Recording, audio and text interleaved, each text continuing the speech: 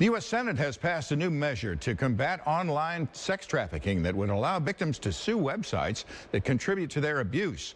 Republican Congresswoman Ann Wagner uh, Wager and Democratic Senator Claire McCaskill had worked across party lines for passage of that bill.